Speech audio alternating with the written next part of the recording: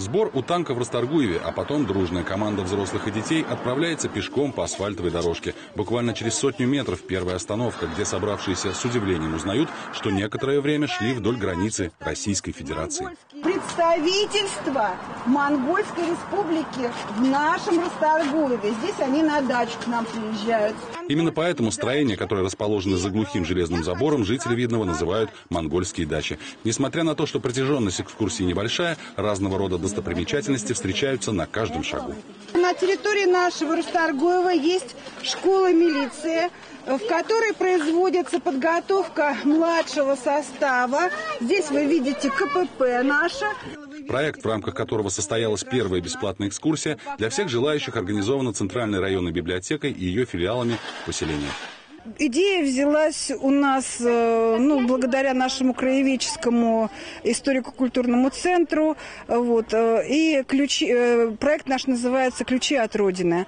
И вот благодаря этому проекту общебиблиотечному, наши все библиотеки участвуют в этом проекте, мы создали такую свою маленькую экскурсию, которая рассказывает людям о вот наших местных достопримечательностях. В храме Свято-Екатерининского монастыря экскурсионная эстафета перешла отцу Владимиру, который познакомил собравшихся с интересной и трагичной историей монастыря и его жизненным укладом. У царя в Москве родилась дочь. Ну и тогда царь решил дочь свою назвать Екатериной, поскольку великомученица Екатерина ему во сне явилась. А на том месте, где было это явление, он решил устроить монастырь. Арина Максимова пришла на выставку с двумя детьми. Ее семья всего полтора года назад переехала в Видное, и эта экскурсия для них настоящее откровение. У меня старшая дочь ходит э, часто в Видновскую библиотеку, она читает очень много книг, и там написано объявление. То, что вот монастырь. Сами мы переехали сюда с Воскресенска, поэтому даже не знали, то, что есть монастырь здесь. Нам стало очень интересно, потому что я считаю, что детей надо развивать всесторонне. Продолжается экскурсия в музее. В отличие от храма, которому почти 340 лет, музей организован всего 7 лет назад. Когда-то он начинался как картинная галерея, но постепенно превратился в краеведческий, в том числе и благодаря местным жителям. Новые помещения сделали, расширили эту экспозицию, она пополняется постоянно. Вот нам приносят новые-новые вещи, ну и мы размещаем, стараемся, чтобы лучше было.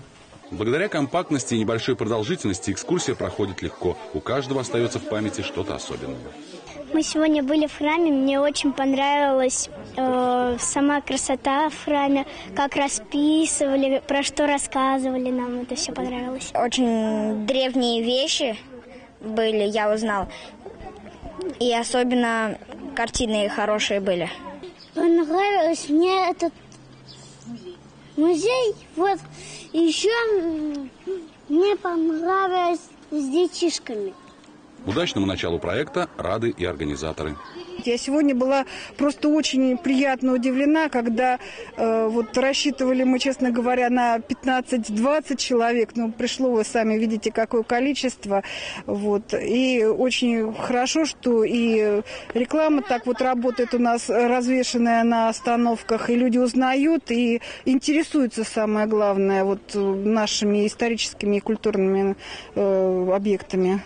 Следующая экскурсия будет посвящена истории деревни и станции Расторгуева. Ее также смогут посетить все желающие. Следите за объявлениями на сайте Межпоселенческой библиотеки. Максим Козлов, Николай Карбанов, Сергей Ларин. Видное ТВ.